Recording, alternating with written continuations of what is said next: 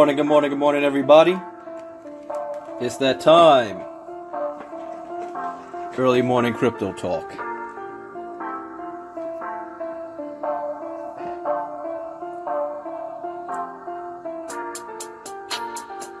We'll be getting started in just a second.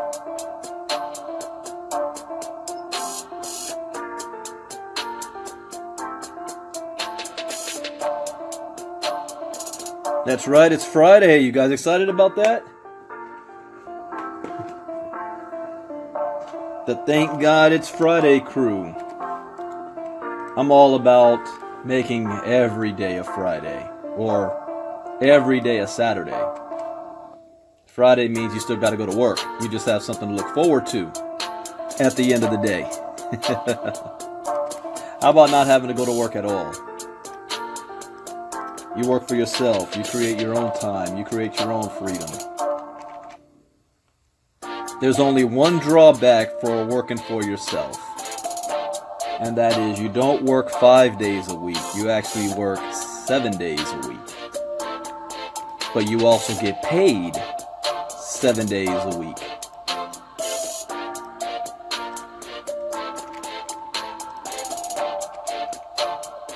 We're going to get started very shortly. What's going on, Erica? Gerald, Bayana, Mr. Cobb, Abigail, Joan. Joan says she can't hear anything. If you guys can hear me clearly, give me some uh, thumbs up, hearts, some likes.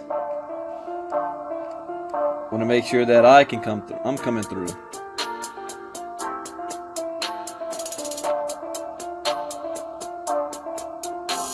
Going on, Jeremy? Mike?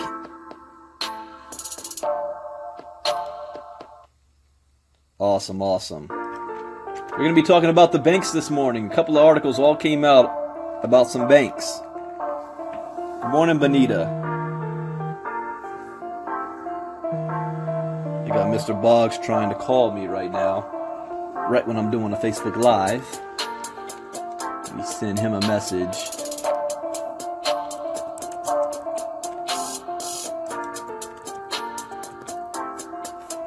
that always happens.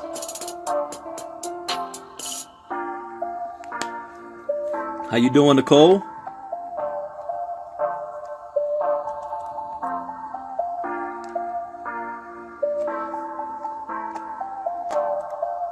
All right, let's get this set up. Anything major happening in Bitcoin world lately? You know, let's look at the chart. I have not looked at uh, CoinMarketCap this morning. Let's see what the news says. Yeah, Mr. Boggs, I'll give you a call as soon as this is over. So let's look at the coin market All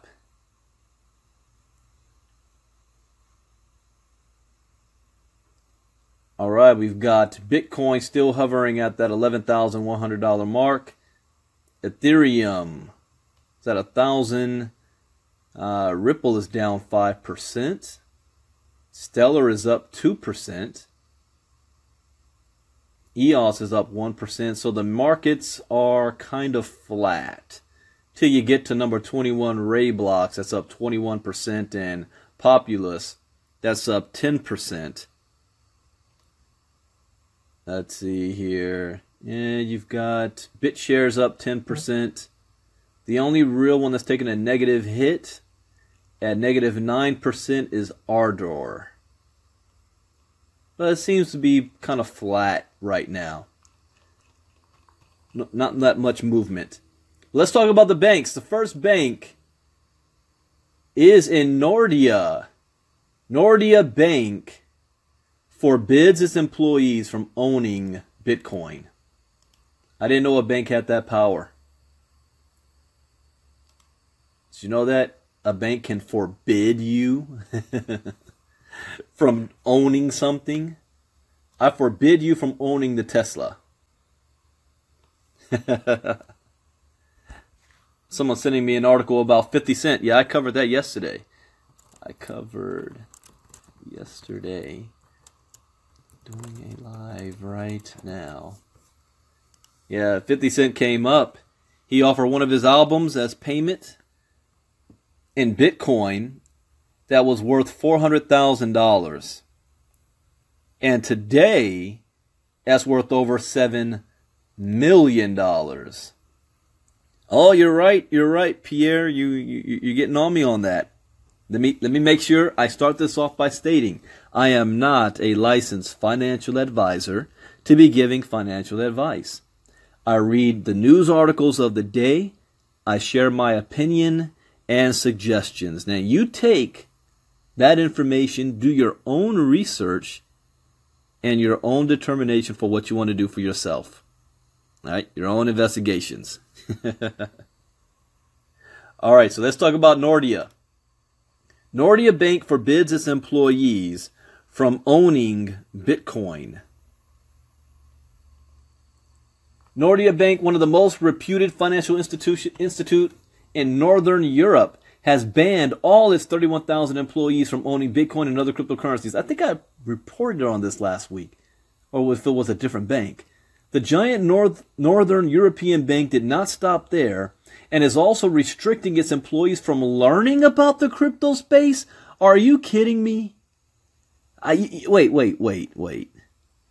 You're, you're forbidding them from owning Bitcoin, but you're now going to restrict them from even learning about it? How's that possible? The new policy was enacted due to the unregulated nature of the crypto market. I, I wish somebody in the United States tried to pull that. The newly imposed policy has forbidden its employees from owning cryptocurrencies due to its near speculative nature, thus making it a risky investment. Yet, yet states and countries have the lottery. You know what your odds are winning the lottery? You have a better chance of getting bit on the ass by a great white shark seven times before you ever win the lottery Yet they call they're calling this too risky.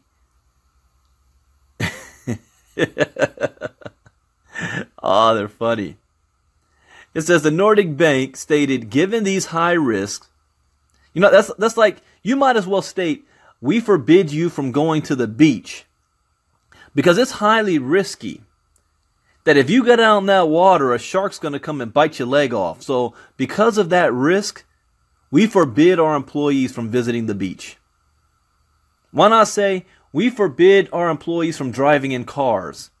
Because the amount of car accidents and deaths that happen every single year, it's too risky.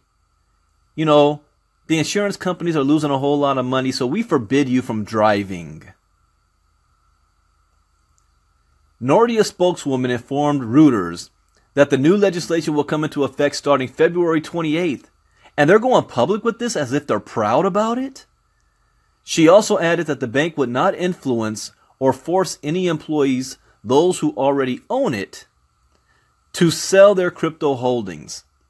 In an email to Reuters, she wrote, the risks are seen as too high and the protection is insufficient for both the coworkers and the bank. Okay, that's like saying, you know what? we forbid you from getting on an airplane because the, the risk is too high. Y'all remember 9-11? And uh, the airplane does not provide uh, parachutes for all of the the people on the plane so that if there's something goes wrong with the plane, people can jump out and have a safe parachute.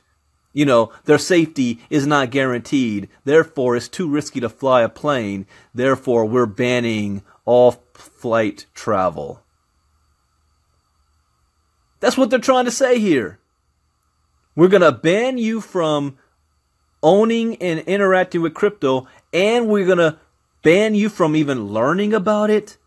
That goes back to the slavery days where not only are we going to ban slaves from reading, we're going to ban you having the ability to learn how to read. What does that sound like? What are they afraid of? Because in the slavery times, the slave owners did not want their slaves learning how to read and write because that empowered them. That meant that they're learning knowledge that they don't know, they no longer need the slave owners.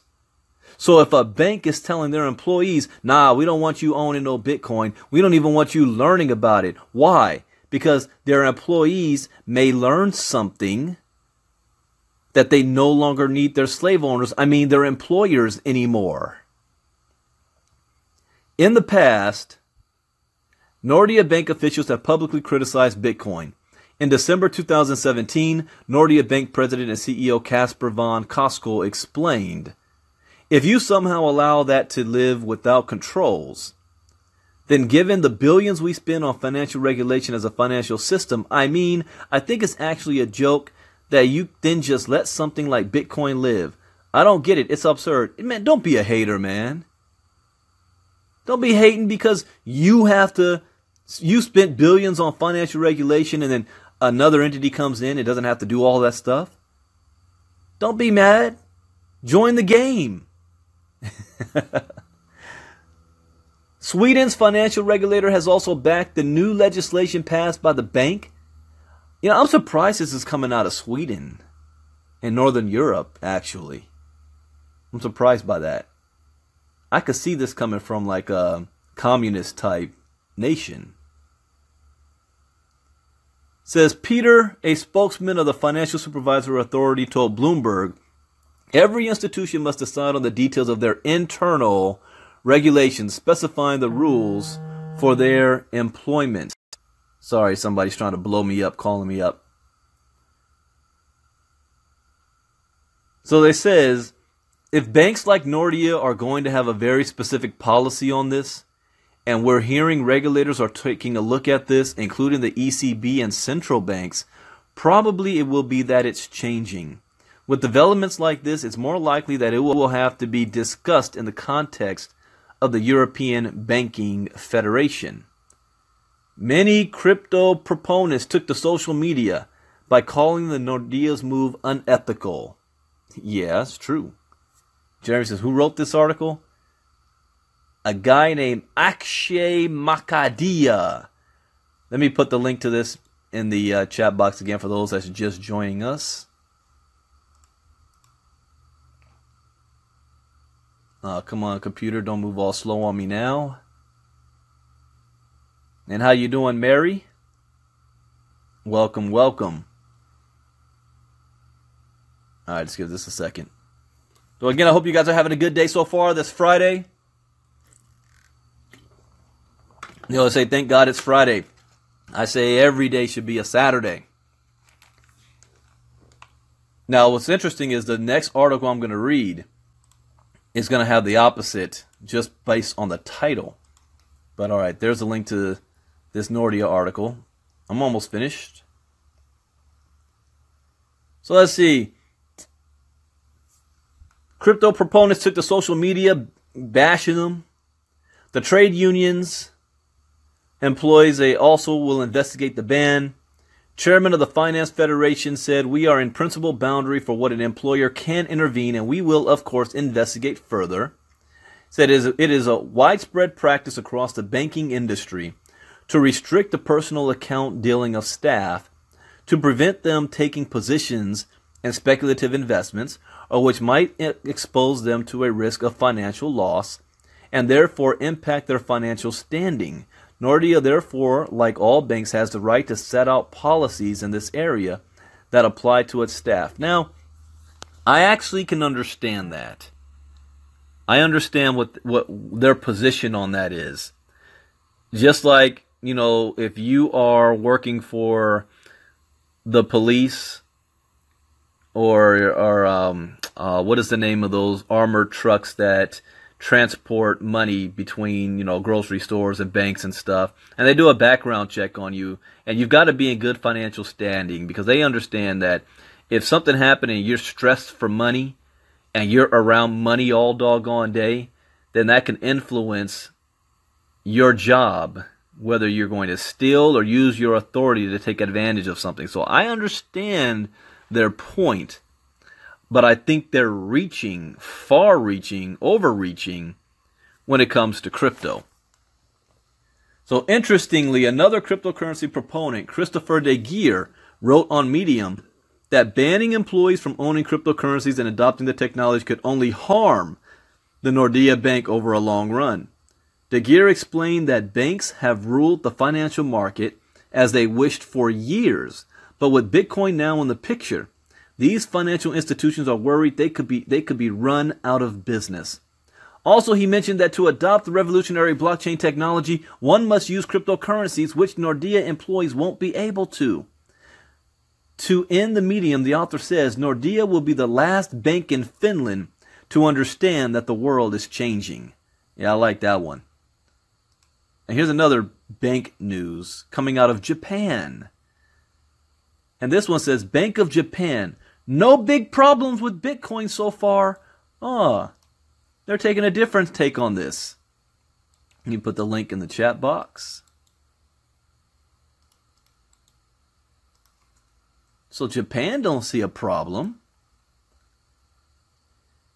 It's not the sexiest headline in the world, but so far things with Bitcoin seem to be going relatively well in Japan. According to a Bank of Japan Director General, with increasing calls from world leaders to unite and devise a global regulatory regime for cryptocurrencies, Japan has taken a strikingly different approach. Bank of Japan Director General of Payment and Settlements, Hiromi Yamaoka, explained there's undoubtedly growing interest among global policymakers on how to deal with cryptocurrencies. Japan's approach would be to think about how to curb excesses without discouraging innovation. Mr. Yamaoka told Reuters, Indeed, the near 7,000 island nation has been a definitive point of success for cryptocurrencies, and especially Bitcoin, which are recognized as legal in the country. The third largest world economy is a fine experiment in a sea of countries which still struggle as to what to make of decentralized currencies. Ironically, Bitcoin's price rise has only hastened concern among regulators. Pretty much weekly, if not daily, there are calls from one corner or another of the globe to severely restrict, if not outright ban, digital assets. For Japan, the watchword seems to be caution, but erring on the side of allowing these new forms of money to first flourish. And Japan is doing this in an increasing air of fellow first world countries looking for global regulation. They say so far so good. The Director General continued, It's uncertain whether global cooperation would mean global regulation. It may mean sharing a common view on the risk involved in cryptocurrency trading and seeking to send out a common message. Global harmonization may not necessarily mean global regulation, he noted. Japan is already a crypto leader, but with China effectively ending their domestic party, the land of the rising sun could see an even greater boost in the months and years to come. Even you know they're going to take uh, more business out of South Korea. South Korea keeps acting crazy. The country has been battling the ghosts of a back-breaking recession, one that not so long ago took over a decade to work its way through their economy. Analysts get the sense that innovative technologies are not something Japan can afford to ban. Huh. That sentence right there don't you think United States should take that same stance? You're right, Erica, they should. They should follow the trend and not try to fight it. I mean, I'm going to read that sentence again. I lost my place. Let me go back. Let's see, work their way through. Analysts get the sense that innovative technologies are not something Japan can afford to ban, much less entangle in an excessive global regulations. There is also the fact that Japan has relatively long experience with the likes of Bitcoin and power through its greatest scandal, Mt. Gox, without overreacting. Maybe it's better they continue to be the outlier, the canary in the crypto mineshaft. What's more, so far I don't think there are any big problems Mr. Yamaoka stressed, but we need to look carefully. If the exposures turn out to be huge, we may need to follow up and work to maintain financial stability together with the Financial Services Agency. For now, he suggested cryptocurrencies pose little threat, as Bitcoin isn't used in many transactions relative to the overall economy. they're not being a disruptive payment or settlement force for now. Has allowed Japanese regulators to take a wait and see approach. Wow! How innovative. A wait and see approach. That ain't happening in the United States. Oh no. Speaking of the United States, let's talk about Bank of America. That seems to be very dichotomous when it comes to Bitcoin. It's like the left hand ain't talking to the right hand. Or they're doing two different things. So let's see what this article has to say. CEO reveals Bank of America has many blockchain patents. The vast majority of Wall Street affiliated institutions have been larger promoters of the technology behind cryptocurrency. Blockchain without Bitcoin is now the new mantra.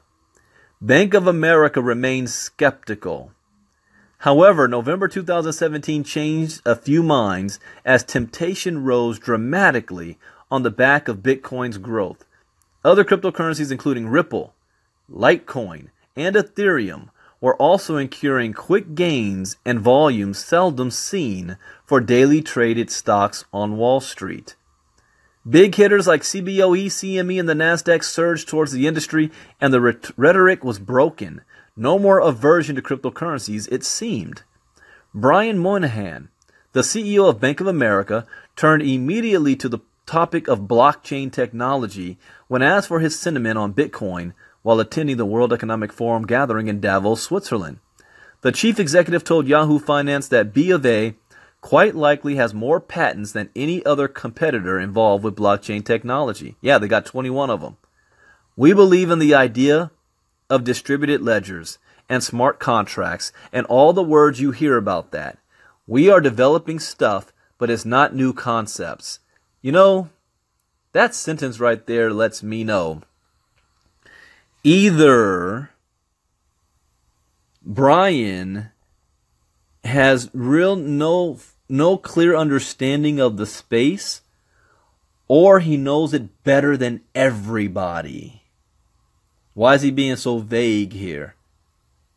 Why do I why do I come to that assumption? Let's go over what he just said. We believe in the idea of distributed ledgers. Okay, he understands that. Smart contracts, he understands that. Then he says, and all the words you hear about that.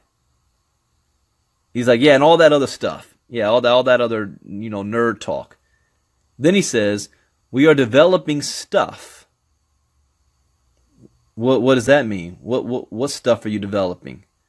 But it's not new concepts. So either, you know, he doesn't want to give, show his card, show his hand to his competitors, or he doesn't even know what's going on. He just said, hey, y'all, you know, y'all that work for me, get into this crypto stuff. We got to make sure we can be on top of this. Who knows? Well, Moynihan, Moynihan went on to reveal B of A's view of blockchain and its potential applications. The registry of motor vehicles is a distributed ledger, he said. We know who owns a car. We know who owns the house. The idea is that you can do it more electronically and can do it across borders. Okay. He understands that. That's right, Jeremy. I, I, I know stuff. I know some, I know this stuff. What stuff do you know? I just know stuff. You don't worry about it. Take my word for it. I know stuff. Donald Trump says that all the time, too. For Moynihan, the issue of cryptocurrency is wholly separate to blockchain technology. That's now that's a current statement there. It's true and not true. See, the banks love the blockchain, the technology behind it as long as it is centralized. See, Bitcoin and its representative blockchain technology is decentralized. The banks don't like that. Bitcoin being decentralized and blockchain means it is a reward given to those miners who are creating the decentralized blockchain. However, the centralized version the banks like means that Sorry, give me one second. I got somebody blowing me up right now, and he's going to keep interrupting me. I am doing a face Facebook Live right now. All right, so let's continue. Okay, like I said, the banks love the blockchain technology if it's centralized, that they control it. There is no reward given out for building the blockchain, meaning the miners, because they will be pre mined. They control it. This is why education is so important. So when you read stuff like this, you know you know what they mean. So no, he's not saying he likes Bitcoin. He's saying he loves the technology behind it.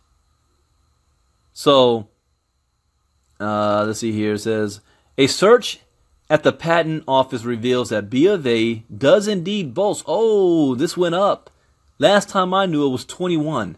Now 48 patents and applications that are blockchain related. 48. That's more than double what it was last time I heard about this, which was last around August. Google's patent database also shows that B of A owns 39 patents containing the word cryptocurrency, 36 that contain the word Bitcoin, and 27 that employ the term blockchain in the registration documents. What do they have planned for all of us? What do they have planned? Published information reveals that their most recent blockchain inspired patent centers on a blockchain alias with the purpose of facilitating intrapersonal payments.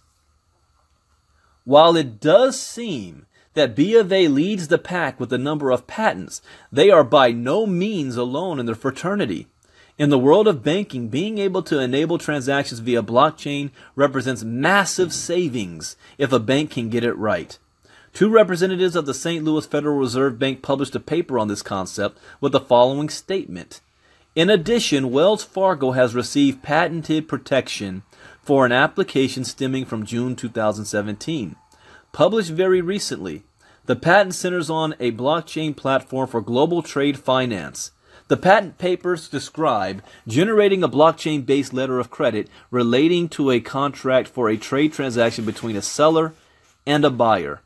In 2016, Yahoo Finance reported that banks were scurrying to fill open positions for blockchain engineers. That is a that's another source of future income for people, a, a new industry. Like you know, remember that the the, te- the tech generation, the dot com era all those nerds moved up to Silicon Valley. Here's a new industry now blockchain engineers. The exact depth of the sector's interest and rollout remains to be seen, but numerous pilots have been launched, and it seems inevitable that the technology will change banking forever. While everyone may think of Ripple as a suitable alternative, their less visible but more persistent income stream seems to be developing blockchain technology exclusively for banks.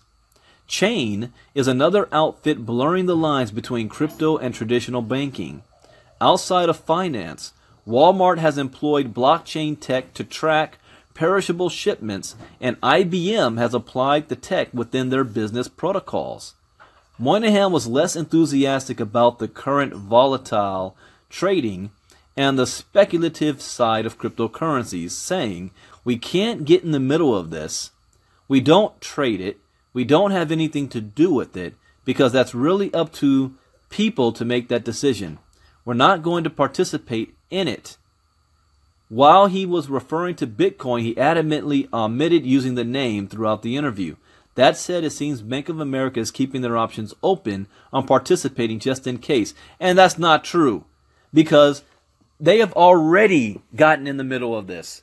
Number one, they're cooperating with with uh, the IRS and Coinbase to find out who owns cryptocurrency accounts. The second thing that they're doing is that they changed their rules and, and stipulations regarding anybody that has a business account with Bank of America. And if you purchased any Bitcoin with your business account, you're going to be getting a letter or your account will be frozen until you fill out uh, God knows how many pages of paperwork. They want to know everything. And then they also announced last month that they're looking to create their own form of an exchange where people could drop their cryptocurrencies in and exchange it into fiat controlled by Bank of America. So that's all public knowledge. And then he comes out and says, "Oh no, yeah, we don't we don't want to get in the middle of that. We don't want to have nothing to do with it." Yet you own 48 patents. don't listen to what I say. Watch what I do. So that's the news and information on the banking industry. And the reason why we cover it is because it affects all of us. What happens that one bank could set a precedent for others. So it's very important that you are plugged in and you know what's going on. I was reminded of why we are coming out with our own education platform earlier today. And I'm going to read, I got a message from, I'm not going to say his name because he might be listening. I don't want to, you know, call him out. Feel like he thinks he's being embarrassed. But let me pull up this chat that he sent me. And this is exactly why we are focusing on education. He said, Hi, Brandon. What's all about this crypto, Bitcoin, etc.? I am so, so confused. Is it money that we invest for it to yield in the future? How much money does one need to invest? Please educate me. This is one individual. Can you imagine 5,000 sending me the same message every week, wanting me to hold your hand, wanting me to be your personal teacher, educate me? That's what he said. There was nothing in here about, you know, I know your time might be valuable. I know you, know, this is a lot of information. Maybe I'm willing to pay you. No, no, no. Just start asking me questions and please educate me. I have no problem with people seeking out information and knowledge. Because we all had a starting point in Bitcoin. And that starting point could be very, you know, nervous at the time, very uh, uh scared. You're afraid. It's new technology. It's something brand new that you got to step into. We all had our first day, and that's what our education platform is going to address. It's going to address your first day in Bitcoin. Where somebody might say, Oh, I could just go on YouTube and Google information. But go back to your first day. How overwhelming could that be? where you type in Google, what is Bitcoin? And 5 million links and articles and YouTube videos pop up. And you don't know where to go, where to begin, where to start, or even who you should listen to. So it's better if we have a structured system in place that can take you through step A through Z. That when you finish the program, you know you learned something. It wasn't overwhelming. It held your hand. And you're learning a new skill set where you're going to be earning while you're learning. And you want to know what the best part is at the end of the day? Especially for those of us in the United States. Because with this technology being brand new and the laws being rewritten all every day, 100% SEC compliant meaning you can go to bed at night and wake up in the morning and know that it's still there. That is what we've been working on for a while now. And we are only, I don't know, maybe 45 days or so away before we start saying anything public. But we are generating a list. For those of you who want to be the early birds, we are generating a list. Now, because I know that there's many people who listen to me that have never been in any of my organizations in the past, that you might be a part of many other companies. You have an upline. I don't care about stealing anybody's downline, raiding another company, taking your hard earned work to build an organization for my own benefit. That's why you never see me point give out links publicly, and I never will. So here's what you do if you want to be one of the early birds. Go back to who whatever organization you are a part of, whoever your upline or sponsor is, and I don't care what company it is, and find out if they are going to be involved first. Because that's who you're working with. You spent a lot of time and energy to build a team. We want you to keep your team. When was the last time you ever heard that from a new company that's getting started? I don't need your downline. So you go through them first. And the list that I'm generating, that's not necessarily meaning those people are signing up with me. Because I'm going to be sending out a video when the time is right with further instructions. I'm going to say the same thing. Go back to the people you're currently working with. This is a, see, the one thing about crypto is that it's not about a company, it's not about an individual, it's about the community. We are all in this together. We want you to succeed. How, how does that how does that help you succeed if your people are jumping ship and just go with somebody else? We want you to succeed because there's enough room and enough money for everybody. There is no scarce mentality here. There's far more money in the crypto space than there is in the MLM space. Enough to go around. There's no need to be greedy. Now, I'm not that person. I'm not a hype guy. Now, that doesn't necessarily mean you're forced to. If you've got beef or you don't like for whatever reason who your current upline is, I mean, you're not forced to have to go with them, but at least give them the courtesy and the respect to say, hey, I want to join this one, but I want to go in a different direction. You know, be a professional. It's nothing personal. That's your prerogative. But we're going to do things the right way. We're going to be ethical, moral. So with that, thank you guys for joining us. I will probably be doing late night crypto talk tonight. I got an article that I, you know I love doing these ones. Bitcoin meets brothels at Nevada Nevada's Bunny Ranch. The Bunny Ranch. Ain't that where Lamar Odom was? Was it the Bunny Ranch he was at that he, you know, lost his doggone mind? Uh, or was there a HBO special about the Bunny Ranch? now accepting Bitcoin. I'm telling you, the the women love Bitcoin. Bitcoin is if if brothels are accepting Bitcoin, then I got. Here, here, let me say this: if you ever want to know if Bitcoin is real money, the moment you see brothels and prostitutes accepting Bitcoin, you better believe it's real money. Try to pay, try to pay a, a, a prostitute in, hey, I've got Monopoly money. I got Chuck E. Cheese money. No, no, no, no, no. You better be coming with the cash. And if, if and if the prostitutes are accepting Bitcoin, yeah, that's real money right there.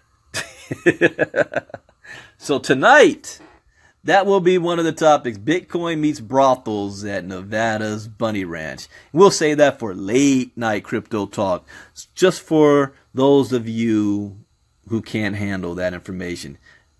Oh, yeah, that goes with the bar conversation. Yeah, I'll, I'll go over that again tonight, too. How to have a bar conversation and get any girl in, in the bar that you want. How to set yourself aside from everybody else. That's right. Booty be loving Bitcoin. What was that other one we talked about? What was the porn industry? Naka uh, Satoshi Nakabooty or something? All right, enough of that. It's too early for that. That's going to be late night crypto talk tonight. We're going to have some fun tonight. I got to I got to pick the right music too. All right, you guys, have a great day. I've got a lot of work to do today and this weekend, I'm going to have to go off off the grid a bit so that I can focus. You know, imagine you're trying to do videos and stuff, and every five minutes somebody's shooting you a message or calling you. It's just not possible. It's like now I got to wait till maybe 1 or 2 a.m. in the morning to, to do some stuff. But, anyways, I'm not complaining. I love it. I love this industry. I'm enjoying the journey and I'm loving to seeing other people win. Because the more people you help, the more money you make yourself. With that, God bless. Have a great day. Bitcoin Brandon out. Bye bye.